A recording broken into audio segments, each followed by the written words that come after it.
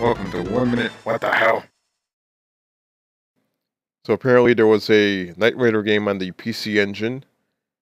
Had no idea that existed until now, and previously reviewed the NES version of Knight Rider. We have the introduction right here.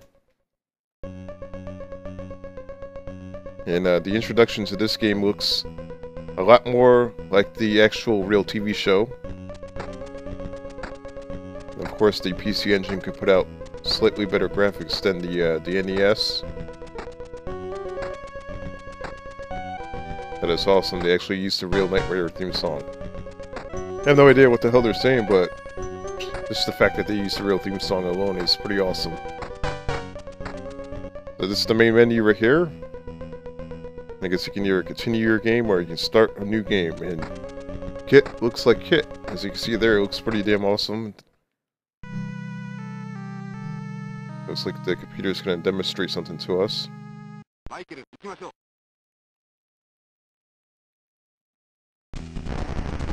So apparently the, the game has voice in it also. You can actually hear, uh... Wow, look at the graphics on this game. This is pretty cool. You actually have a voice recording in the game itself. Whoa, whoa, whoa, what the hell is that? The hell did I do? This, this game controls identical to the NES version. You have to hold up to accelerate.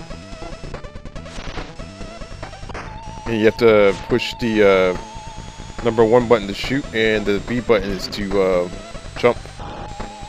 Which is exactly how the NES version is laid out. But this game is much more fast-paced than, than the NES version, as you can see here. Wow, what the hell. The controls on this game are a little bit more uh, tougher than the uh, NES version. Well, not exactly the controls, but the gameplay. Nonetheless, this game is awesome already. It's pretty cool.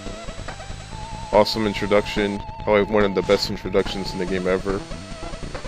Uh, the gameplay for uh, PC Engine it looks pretty good.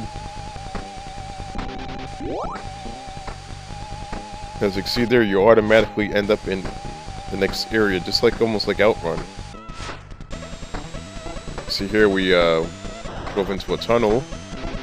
And the graphics are pretty damn good for uh, for a console back in the 80s. It looks something similar to what, what you would get in the, uh, the arcade.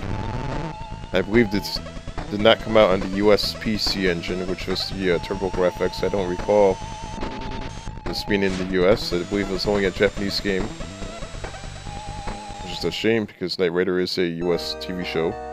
See, I got a game over. As far as difficulty goes, the game is a little uh, difficult. And the fact that you actually have the real theme song from Knight Rider. That's the one thing that the NES version was missing. Which was a big letdown. Uh, this version right here did not miss, miss out on the theme song. It actually gets the real thing.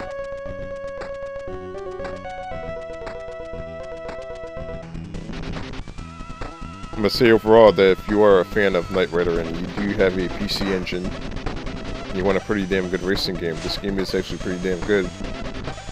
Uh, I would definitely recommend this game and check this out. What other racing game do you know you can do that? That's pretty awesome.